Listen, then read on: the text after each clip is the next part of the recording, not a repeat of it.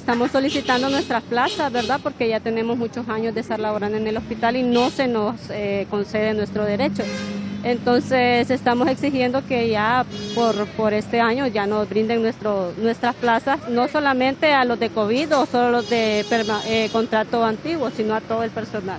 ¿Alrededor de cuántas enfermeras estarían solicitando? Son, eh, son más de 200 enfermeras que están aquí en, el, en la granja, que están por contrato. Queremos un compromiso que nos asegure en nuestro nombramiento, ¿verdad? Por derecho, por contrato. No podemos seguir nosotros de contrato, ¿verdad? Somos personal viejo, somos personal importante, ¿verdad? Lo fuimos en temporada alta de COVID y lo seguimos siendo, ¿verdad? Tenemos derecho.